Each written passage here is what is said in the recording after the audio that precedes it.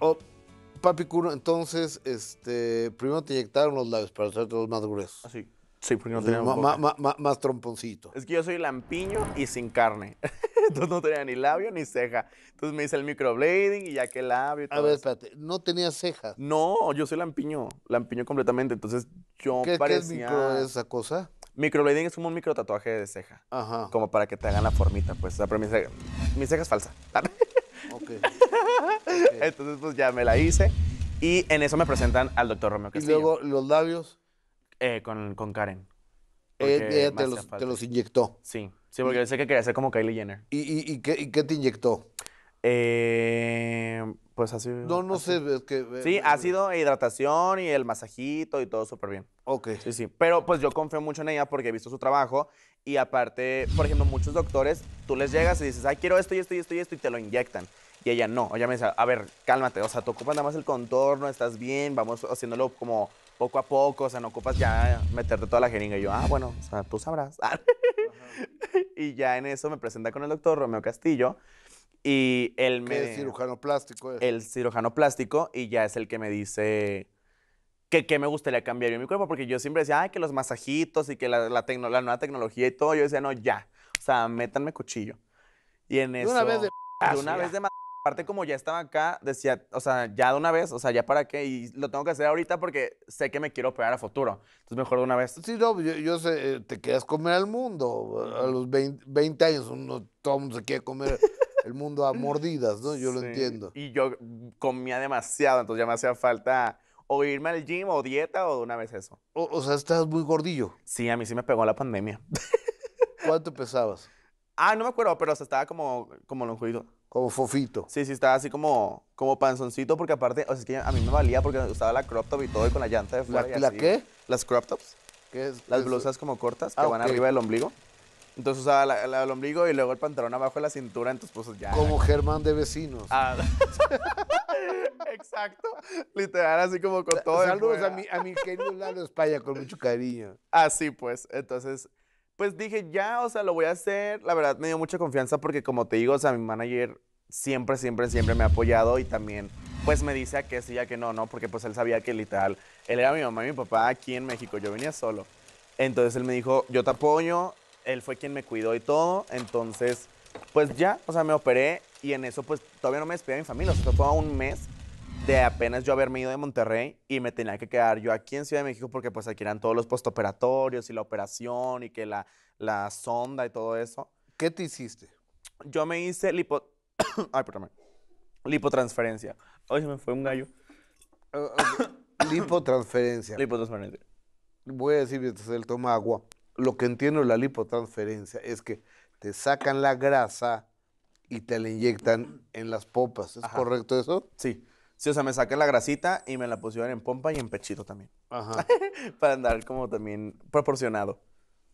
O- oye, ¿y cuánto, cuántos litros o cuántos? No, no es que no, sé No me acuerdo cuánto fue, pero sí me sacaron, o sea, bastantito.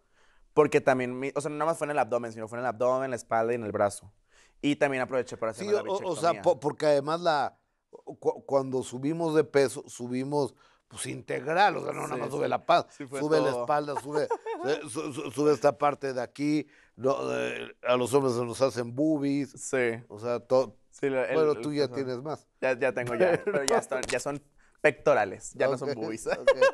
Oye, y, y la bichetomía, que es quitar, bueno, tú explícale a la gente. Sí, pues la bichectomía es cuando te quitas una bolsita de grasa que tenemos en los cachetes para que obviamente pues se te marque más el pómulo.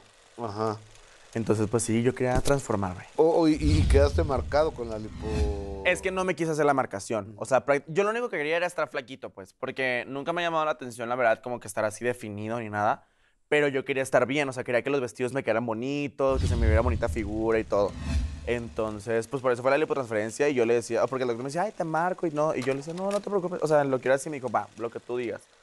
Entonces, pues sí, o sea, me, me, me operé todo y todo o sea, tú bien. sugieres, sí recomiendas esa lipotransferencia para la gente. O sea, siento que algo que a mí me hubiera gustado es que hubiera sido como a una eh, edad donde yo fuera más maduro, porque obviamente pues a mis 20 años Pues sí, o sea, mucha gente, de hecho, eso fue lo que, lo que comentaba, ¿no? O sea, que con ejercicio y dieta pude haberlo hecho. Entonces. Sí, pero eso es esfuerzo y tiempo. Sí, sí, sí, o sea, siento que depende de la persona, ¿no? O sea, porque también el ejercicio es para aquellas personas que tengan la disciplina. Yo hoy en día ya agarro un poquito de, de condición, porque pues antes no aguantaba ni la caminadora, ya, ya, ahorita ya me gusta. Entonces, pues sí, o sea, mientras seas una persona disciplinada y que esté comprometida a el ejercicio y que sea tu pasión, hazlo y dale por ahí. Oye, y también el, el tatuaje, veo que tienes varios tatuajes, Ah, sí, por, por lo menos aquí en el cuello y en, las, en, la, En la cejita. eh, en la ceja, más el mic- microblading, Ajá. que también es un tatuaje eso, ¿no? Sí. O sea, ¿cuántos tatuajes tienes? Sin contar la ceja. 96 tatuajes tengo ya. Ah, No, estoy hablando en serio. Sí, en ¿Cómo todo vas el a tener cuerpo. 96 Pero es que me tapo, me tapo. Ahorita estamos mostrando la figura, no los tatuajes. Pero sí, tengo 96 tatuajes por todo el cuerpo. ¡Wow! O, o sea, acá Pero son muy chiquitos, o sea, también como que, o sea, parece que es mucho, pero como los míos son como así como stickers, o la gente dice que como baño público de, o de, de primaria, así que lo rayonearon. o- o- oye, pero a ver, ¿te tiene algún significado o nomás lo que te va gustando? No, sí, o sea, cada vez que he pasado por alguna situación, siento- o sea, yo siempre como mi referencia es que es un tatuaje en mi alma que ahora está en mi piel. Entonces por eso me lo tatúo, pues en la piel. Oye, y, y el ser el papicuno, este fenómeno, básicamente TikTok, ¿es correcto? ¿Vo- ¿Voy qué, perdóname? Basi- el fenómeno papicuno es básicamente TikTok. Sí, sí, sí. Ok.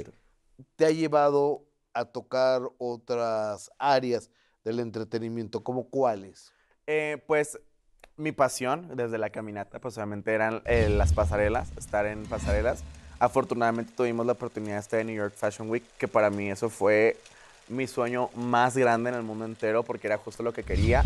La Semana de la Moda La en Semana Nueva de la York. Moda en Nueva York, así es. Y desfilaste. Desfile, ujú, sí. ¿Y quién te enseñó a caminar? Digo, porque una cosa es a- a- a hacerle como que El, caminas pasito. y no caminas, y otra cosa hacer, pienso, un- Sí, no, pues de hecho ahí fue como lo que, como la, lo, lo que pasó en redes sociales, que yo en ese entonces, pues la verdad nadie me había instruido. Como el ahora más me dijeron, queremos a Kuno haciendo su caminata en la pasarela, pues.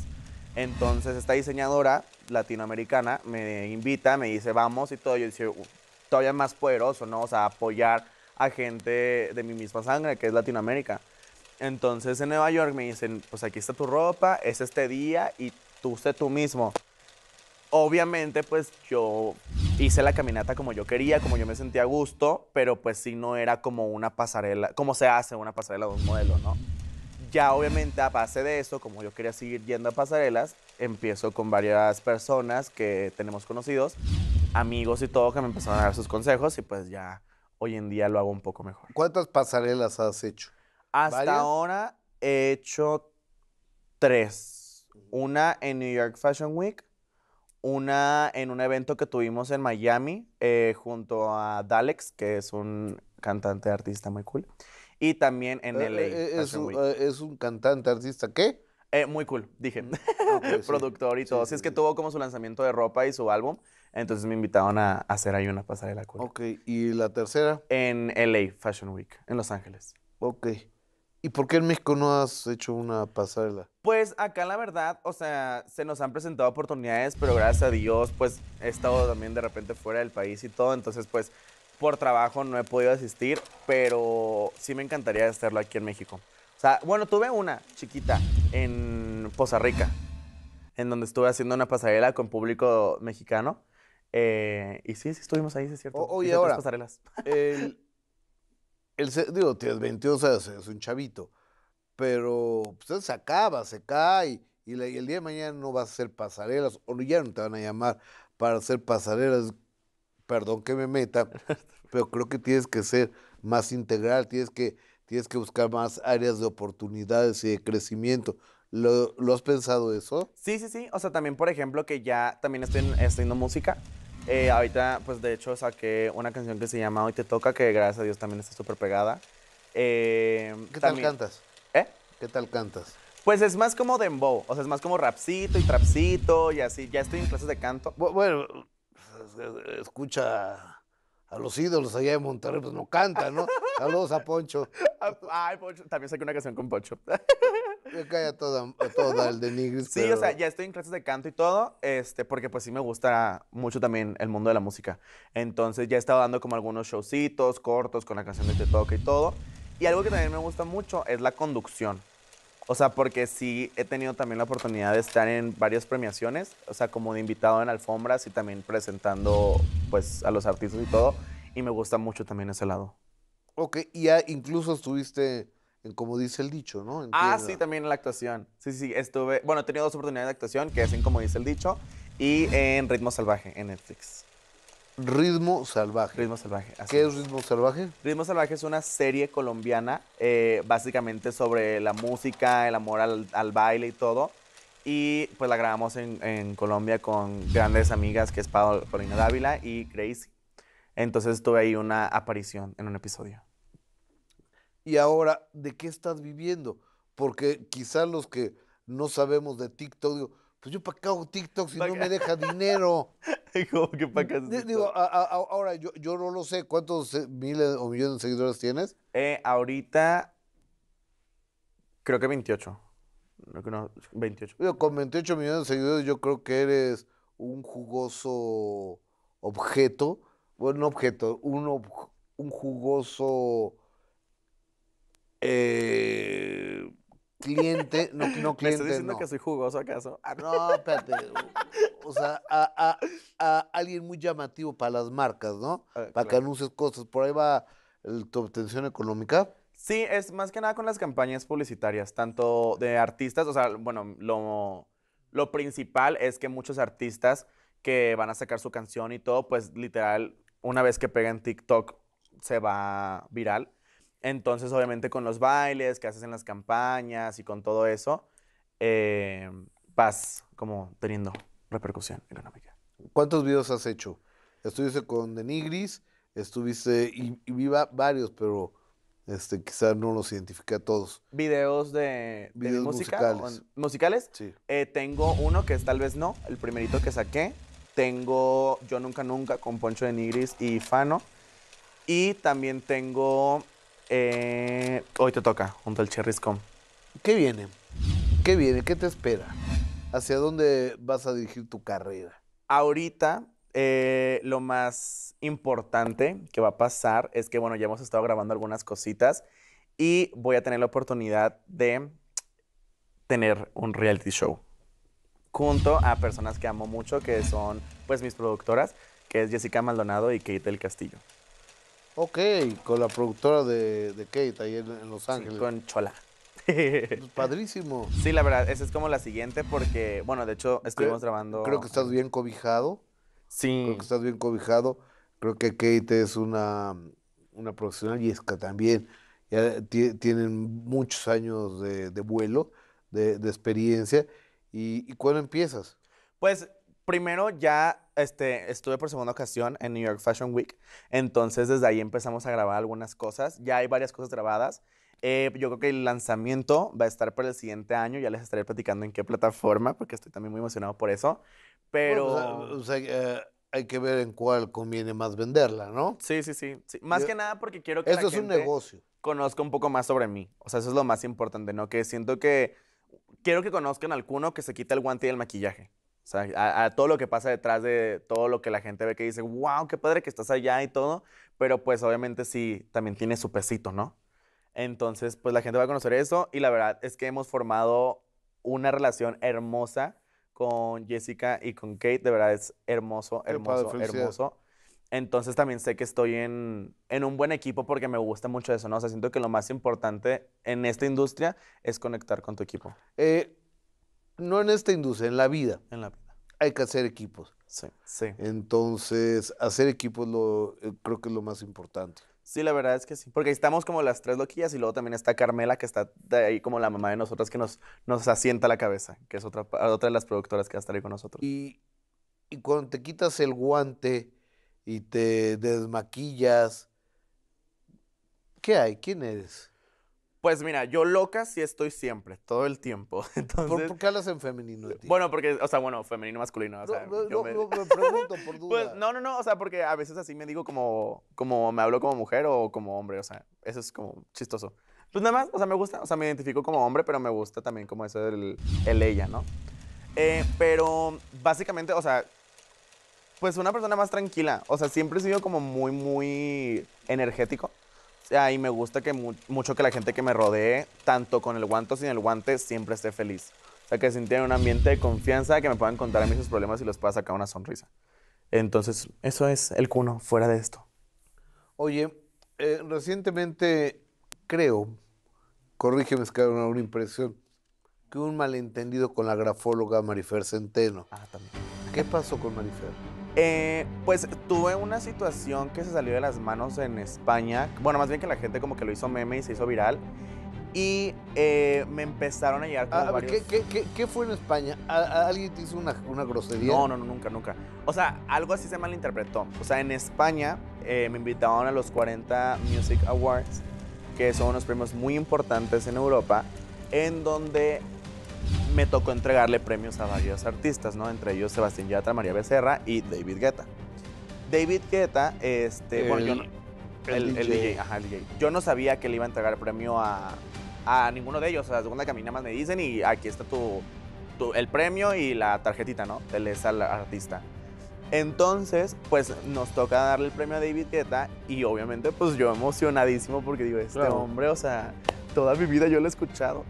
En eso, pues normal, o sea, se sube, le entregamos el premio, pues nos tenemos que hacer para atrás y él tiene que dar su discurso y ya, o sea, eso fue lo que sucedió, o sea, fue un saludo, una- un abrazo normal y así, ¿no? Obviamente sí fue como él, no sabía yo si darle la mano, si abrazarlo, pero como él sí extendió el, bra- el- el- el brazo hacia el hombro, pues dije, pues lo abrazo normal, o sea, es un saludo normal. Ahí quedó. Eso pasó, yo feliz, publiqué, de hecho hasta subí el video donde le estoy entregando el premio de Vigueta porque para mí eso fue, bueno, es impresionante.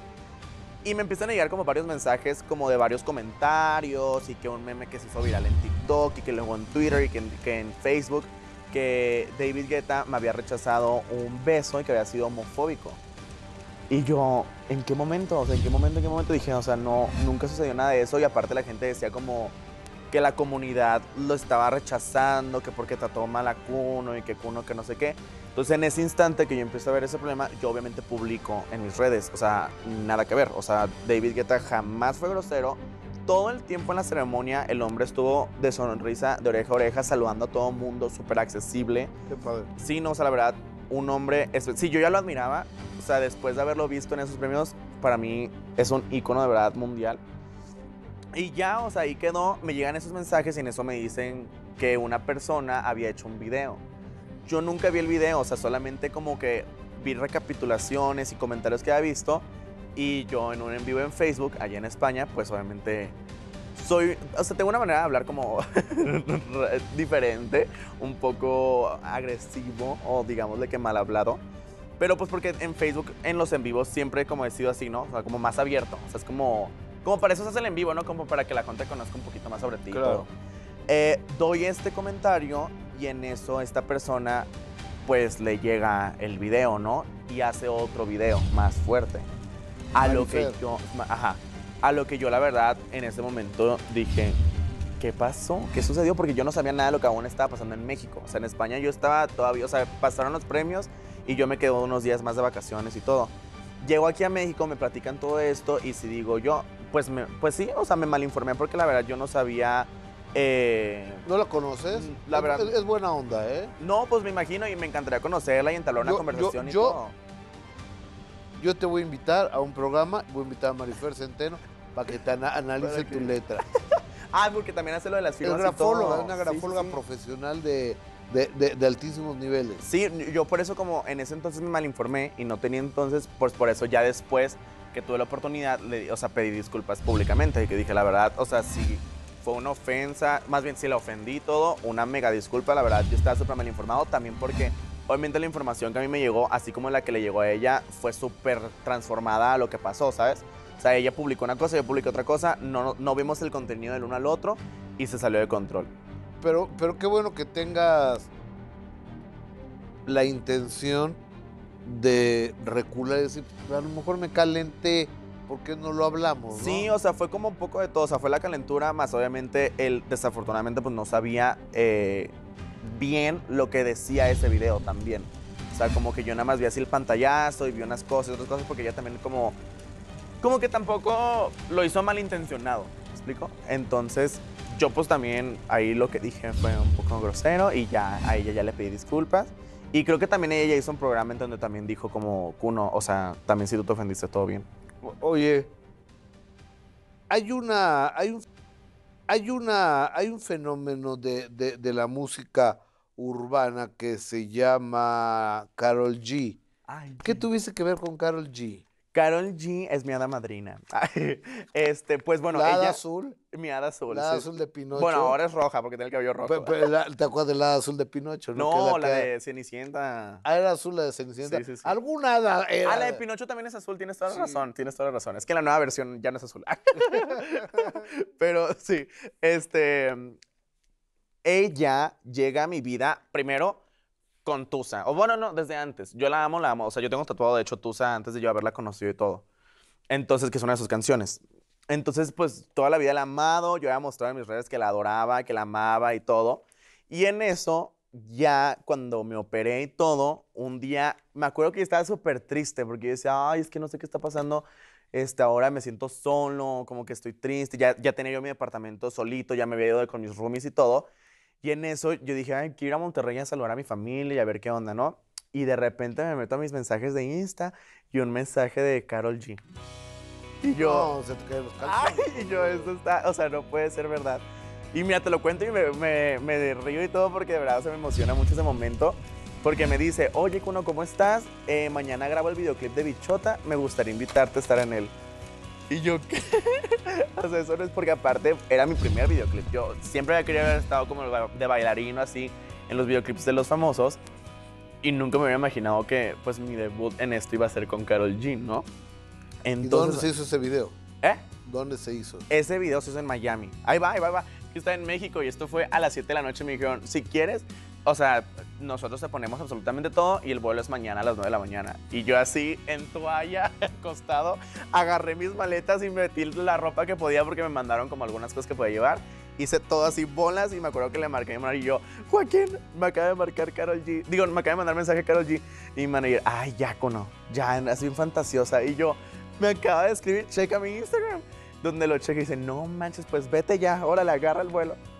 Nos fuimos y todo, y llegando allá, de verdad, esa mujer es un ángel, como te digo, es un hada, de verdad, porque desde que llegué, todo el tiempo súper al pendiente, me metió, de hecho, su camerino a estar al pendiente de mi maquillaje y todo, y pues increíble, o sea, hasta la fecha tenemos una muy linda amistad, la verdad. Oye, qué padre, qué, qué, qué padre porque además eres un muchacho con suerte.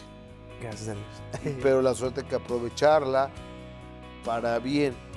Oye, ¿qué pasó con aquella declaración que tanto te critican? Yo no te había criticado porque no la había oído. ¿Cuál? Que ya no eras youtuber, Yo, sino celebrity, celebridad. ¿Sí la dijiste o no la Ah, dijiste? Sí, lo dije en una entrevista. Esta fue en República Dominicana eh, junto a un... Pues, ¿cómo viajas, papacito? Ahora es que papi cuno.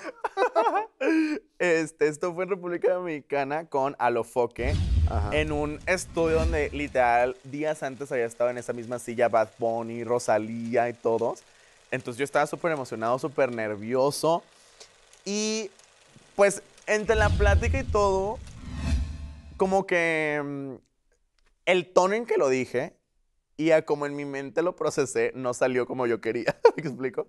Entonces, sí estuvo como mal ese comentario ahí explotado.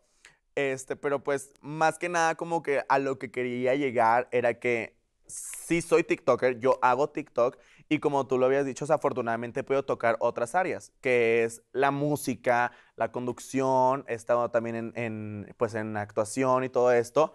Y como que eso quería decir, ¿no? Pero O nada sea, que ver con lo Hay que... que ser versátil, ¿no? Sí, un Eh, yo, yo creo que en la vida, si eres, entre más versátil seas, más campo de acción y de y posibilidades de triunfo tienes, ¿no? Es que yo siempre he pensado en futuro porque sé que así como otras plataformas en redes sociales han desaparecido, sé que en cualquier momento TikTok podría llegar a desaparecer.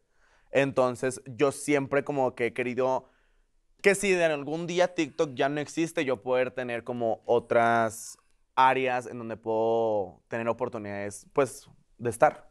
¿Tienes pareja? Sí, sí tengo pareja. ¿Tienes novio? Sí. sí tengo.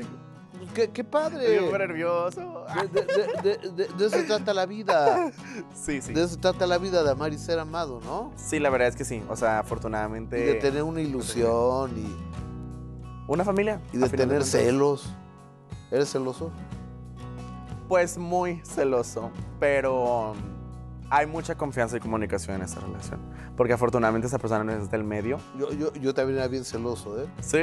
Pe- Pero déjame te digo que cuando las personas te demuestran quiénes son y por qué están contigo, que se llama amor, El a celos deja de la- existir. Adiós, adiós los celos.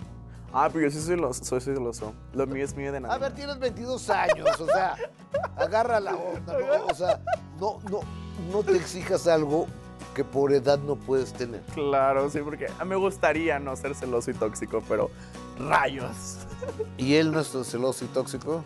E- Es toxiquito, pero no, pues no, o sea, me apoya mucho en todo lo que estoy haciendo. Entonces, como que también sabe que, pues, me voy de viajes por trabajo y regreso y todo. La verdad, sí, es una de esas personas que de verdad sé que están por cuno, no por papi cuno. Entonces, pues, todo lindo. ¿Y a qué se dedica él? Él ahorita está simplemente conmigo, o sea, está, me apoya mucho como en la situación del hogar y todo eso. Una familia. Una familia. Sí, porque ya somos tres. Ay. No, no es una relación de tres. O sea, somos él, yo y dos perritos. ¿no? O sea, O tenemos dos perrijos. O sea, de cuatro. Sí, somos una familia de O sea, cuatro. dices tres, son dos perros. Ustedes dos, dos más dos son cuatro. No, no, no, somos, ajá, somos cuatro, cuatro, cuatro. Este, o sea, yo, mi pareja y los dos perrijos. ¿Quieren tener hijos? Si nos gustaría futuro, ahorita no, pero si nos gustaría futuro tener un mini cuno. Estaría padrísimo. Y están dispuestos a adoptar. También, sí, sí, sí, sí nos gustaría mucho. Eh, pero pues bueno, eso ya es más a futuro, ahorita no sé. Ay, ¿Hay planes de boda? no. Todavía no. Oye, has venido transformándote tú. Todos los días cambiamos, nos transformamos. Tu cuerpo lo ha sido transformando. ¿Ahí lo vas a dejar o va a haber otra evolución hacia algún otro lado? Eh, no, la verdad es que yo ahorita, mi género es masculino, o sea, soy hombre. Mi orientación sexual es homosexual. Y así me identifico, así me gusta. Me gusta mucho la androginia, que te digo que es esto del maquillaje, los vestidos, el guante, porque me gusta ser yo mismo. Eh, pero físicamente y, y todo, o sea, me gusta mucho mi cuerpo, así lo quiero mantener.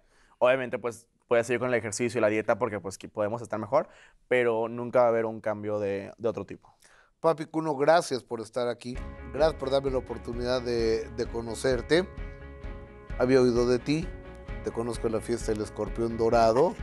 Este. Y, y cuando vi la reacción de. ¿Te acordarás de mi hijo y de su novia? Sí, sí, sí. Y. ¿Y este quién es? ¡Papi Cuno! ¿Qué, qué, ¿Cómo voy a saber? Gracias, amigo, por estar aquí. Que, que se repita esto, ¿no? Sí, de verdad que sí. Hasta siempre. Él Muchas es Papi. gracias. Gracias. Me caíste muy bien. Él es Papi Cuno, yo soy Gustavo Adolfo Infante, en especial gracias a usted. Si Dios nos presta vida y usted nos presta su amable presencia, próxima semana, mismo horario, mismo canal, tenemos otro minuto que cambió mi destino. Muy buenas noches, muchas, muchas gracias. ¡Bravo! Dale.